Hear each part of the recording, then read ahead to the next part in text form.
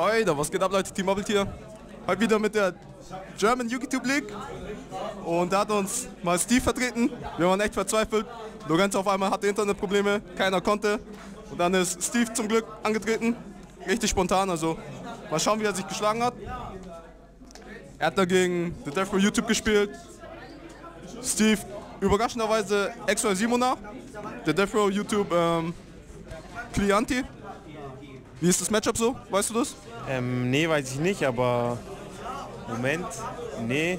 Er kommt drauf an, wenn Klee Chaos, Trapol und so weiter zieht und anfängt, schaut es nicht so gut aus, aber Gegner fängt an. Er aktiviert Pot of Duality und man sieht gleich Cut of the Mice. Er nimmt nicht Cut of the Mice. Er hat Wer keine weiß? Monster auf der Hand. Barisch ist überrascht. Also den Zug vom Klee-Spieler verstehe ich überhaupt nicht. Er hat keine Monster, er kann alles setten. Wieso nimmt er unbedingt Rivalität?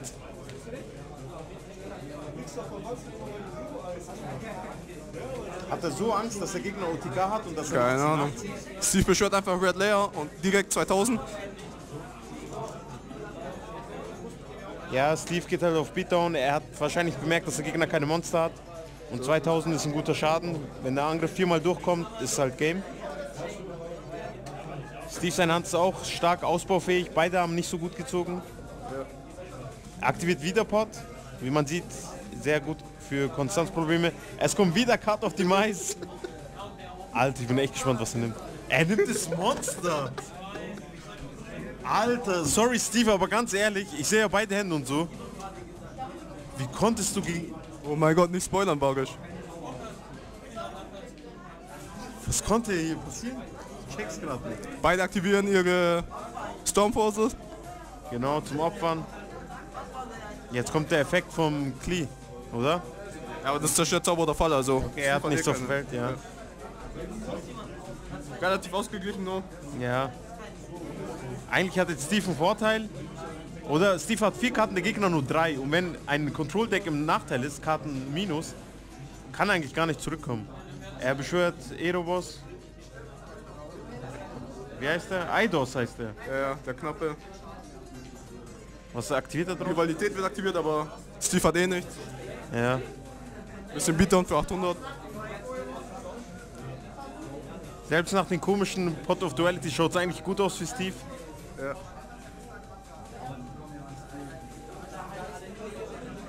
Schau mal, der Gegner. Schauen wir mal. Oh mein Oh, saftiger Top-Deck, richtig unverdient. Glück. Richtig unverdient. Das ist echt. Aktiviert zweimal Duality, nimmt nicht Cut of the Mice, aber Cut of the Mice kommt trotzdem. Und dann auch noch Das war der Summoners Art für Scout. Perfekter Draw für den Klee-Spieler, Scout. Er kann jetzt alles auspacken, zahlt saftig 800. Puh.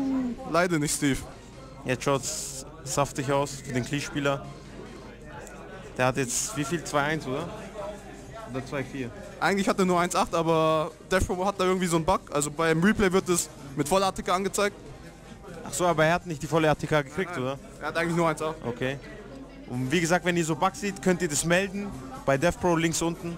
Also jetzt, das, der Bug ist nur beim Replay gewesen. Beim normalen Duell war es ganz normal 1,8. So, okay. Gegner zieht wieder ein Monster. Also der Gegner scheint wirklich nett so gewesen zu sein. Er war ja in unserer Gruppe, war wirklich nett, fröhlich. Deswegen kann ich gegen den nichts sagen, aber der hatte wirklich harten. Oh, Alter. Er zieht nur noch, Mann. Schau mal, er hat nur ein Feld frei. Er zieht perfektes Teil, Scale. Den hat er gerade gesucht. Ach so, echt jetzt? Ach so, Monolith, sorry.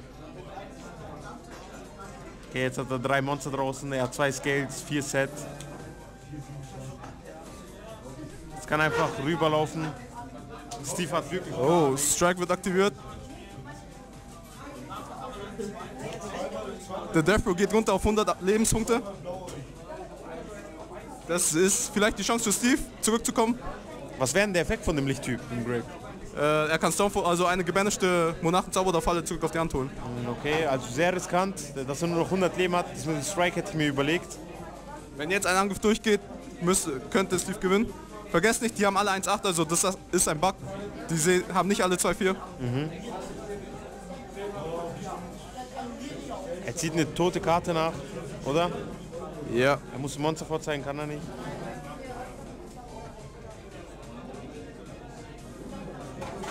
Ja, es schaut ganz schlecht aus. Steve muss auf Defense gehen gegen ein Control Deck. Schaut gar nicht gut aus.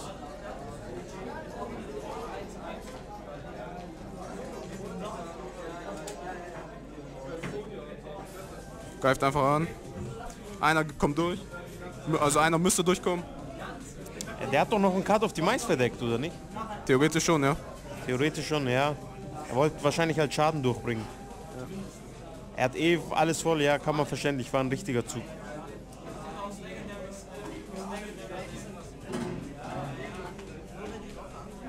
Aktiviert Cut of the Mais jetzt. Schauen wir mal, was Steve zieht. Sein letzter Zug. Was kann er denn top decken?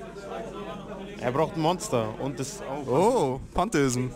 Schaut gut aus, jetzt kriegt er den Draw, den er braucht.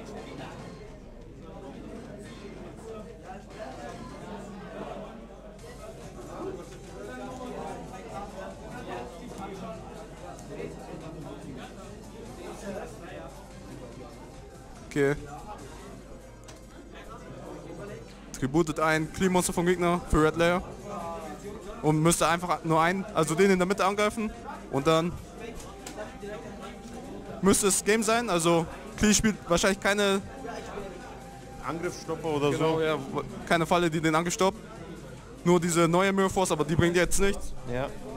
Alle anderen Fallenkarten müsste er Lebenspunkte zahlen. Also ich denke, der Angriff kommt durch.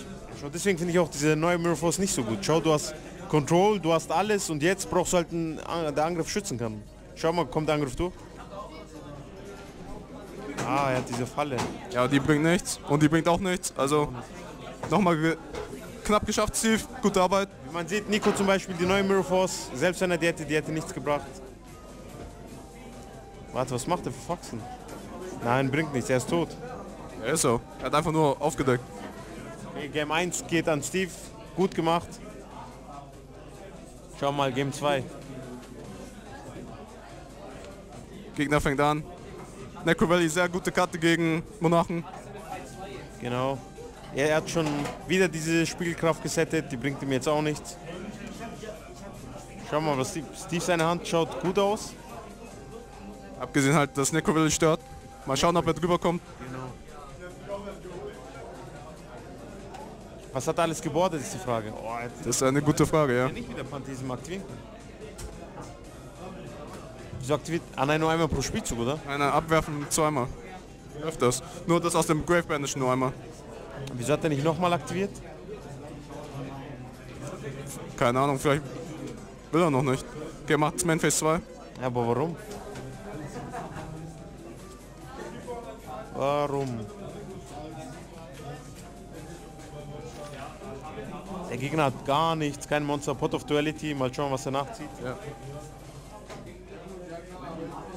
Und da hat er wieder diese... Alter, schon wieder. Die Mais liebt ihn, Mann. Das ist echt zu krass.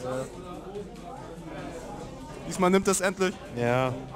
Hat er verstanden, dass sie plus zwei macht? Er zieht sehr gut nach. Sacrifice. Ja, aber abnormal. Genau ein Monster und Sacrifice. Einmal im Deck spielt man die. Und Ja. er zieht genau das, was er braucht. Sie nicht mal. Also ihr seht, wir leiden. Sorry Steve. Aber gegen so viel Glück kann man echt nicht gewinnen. Also, Und, also er zieht ein Monster, Sacrifice und Monolith als Scale. Die perfekten drei Karten. der Teil wäre vielleicht besser. Ja, Scout, natürlich, aber Ah, das wäre halt dann super saftig. Alles mit Soße dann. Döner mit allem.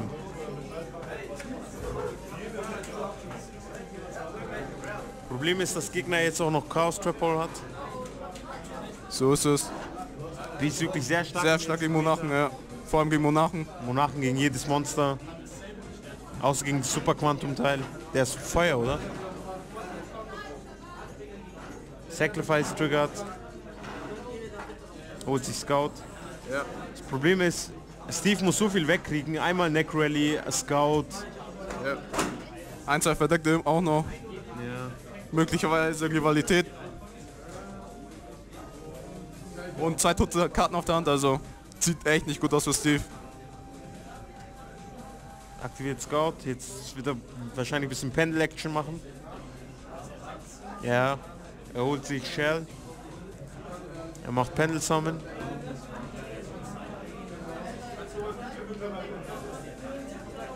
Die Frage ist, wie viele Twin Twister hat Steve gebordet? Keine Ahnung. Gar keine gezogen.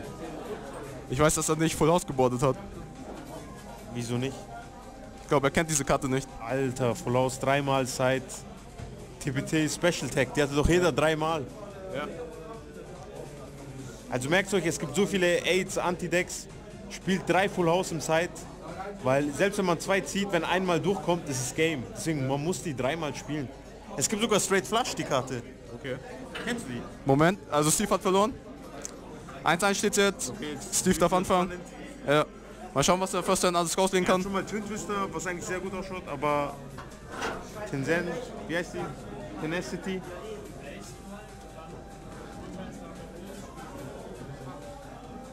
Er benutzt den immer zum Beatdown, der ist doch eigentlich für XYZ. Ja, eigentlich schon. Also, obwohl Steve äh, XYZ Monarch spielt, hat er nicht einmal sein Extra-Deck angerührt. Also sehr traurig. Also jetzt wäre diese andere Variante viel besser. Theoretisch schon, ja. Gegen Klee, auf jeden Fall. Aber schaut sehr gut aus für Steve. Kann sich alles searchen. Er Twin Twister, das darf er eigentlich nicht verlieren, das Game. Dachte ich mir auch, also. Eigentlich darf er das nicht Ich habe es live gesehen. Ihr seht meine Leiden, also. Gegner hat halt Cut of the Mice das einzige, was vielleicht ein bisschen ihn zurückbringt. Aber Steve hat 3, 5, 7 insgesamt Karten. 5 auf dem Feld, zwei Handkarten. Gegner aktiviert Pot. Kriegt wieder Scout. Kriegt wieder Scout.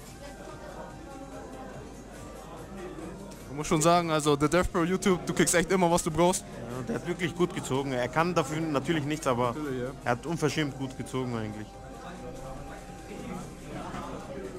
Steve hebt seinen Twin Twister natürlich auf. Aktiviert er nicht auf Scout.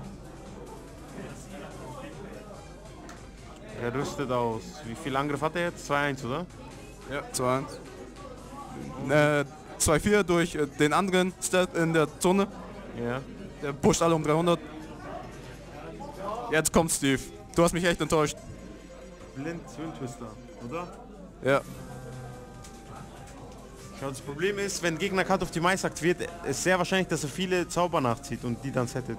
Deswegen in dem Moment war Twin Twister nicht so gut. Vor allem gegen Klee. Da musst du diese Scales wegkriegen, Scout. Das ist wichtig, weil er hat dann keine Ressourcen, um irgendwas drauf zu machen. So ist es. Das Und ist das Wichtigste. Klee spielt auch viele permanente Fallen. Also vielleicht erstmal abwarten, Genau. weil diese, verdeck diese ganzen verdeckten äh, Konterfallen stören dich eigentlich eh nicht. Weil du hast mehr Ressourcen wie er. Selbst wenn 1 zu 1 auch so schießt, letztendlich gewinnst du. So ist es. Er kann diesen Nachteil nur mit Scout ausgleichen. Deswegen Steve, Tipp an dich. Scout hättest du wegschießen müssen. Selbst wenn du Endphase schießt, nimm Scout mit. Das hättest du machen müssen.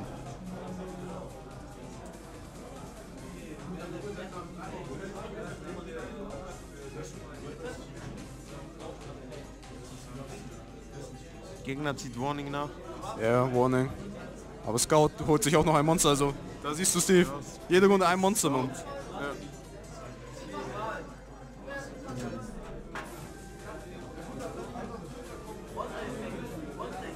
Ja, er hat diese Falle.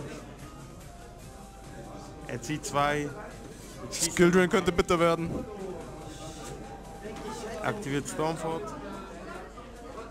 Gegen Skill Drain jetzt wäre zum Beispiel Scout, äh, Tw- Twin Twister ziemlich gut gewesen.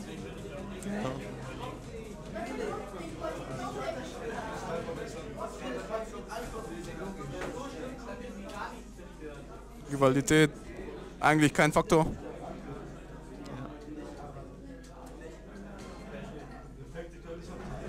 Prime Monarch kommt. Steve kam nicht über das Monster drüber, mit, das mit Sacrifice ausgerüstet ist. Gegner kann sich jede Runde mehr, immer mehr aufbauen. Ja, aber mit Kurat und so hätte er schießen können, aber er kann nicht wegen Rivalität, oder? So ist es ja. Okay, ja, jetzt. Kuras hätte krass aufgeräumt. Alter, das sieht so gut einfach. Jetzt einfach nochmal Pot. Für einfach noch eine perfekte Falle. Es wird eine perfekte Falle kommen, lass mich raten. Welche Falle bräuchte er? Oh, Emptiness. Oh, alter, Neck Rally. Er nimmt Neck Rally. Natürlich muss. Ja. Und mit Skill Drain kommt er auch noch über Steve's Monster, also ich sehe echt keinen Weg für Steve da zurückzukommen. Scout ist zu krass, macht Plus, macht das Deck dünner, konstant. Ja, da kommt auch Skill drin. Jetzt Full House, Show Full House. Er hat wirklich keine Full House geboten. Nein.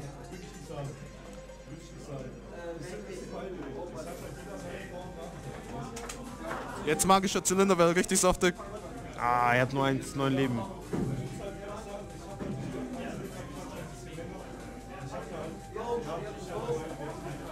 Er zieht wieder Stormford. Ich, wieso hat er die so oft? Die bohrt man doch raus gegen Klee. Man spielt die dann nicht mehr, weil nicht. seine Mo Monster triggern die fast alle. Okay, er konnte halt Stealth opfern, damit nichts triggert. Jetzt kommt Skill Drain, ist einfach zu krass.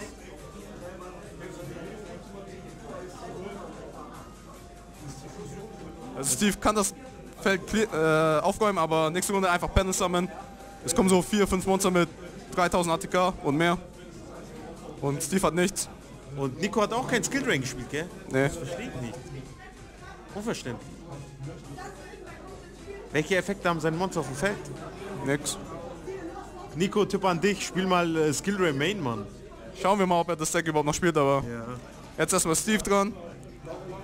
Wird Der jetzt kassieren, ja. Heißt Steven, oder? Ja, also, ach so, ja. Steve von TBT gegen Steven von The Death Bro. Ja, jetzt Game. Vorbei. Alle Monster draußen. Das war's. Sorry, Steve.